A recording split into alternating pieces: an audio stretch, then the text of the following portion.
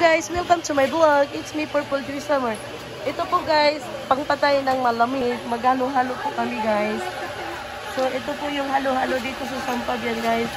Punta po kayo dito. Ah, ito po yung pinakamasarap na halo-halo, sorry. ito na yung pinakasarap na halo-halo guys sa Pilipinas. So pagpunta po kayo dito sa Sampag yan, Pangasinan guys.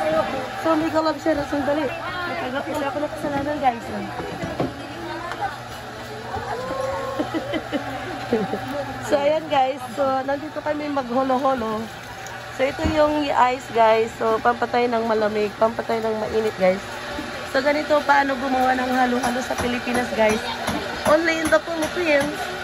See you. Don't forget to subscribe my YouTube channel. It's me, Purple Joy Summer. Bye!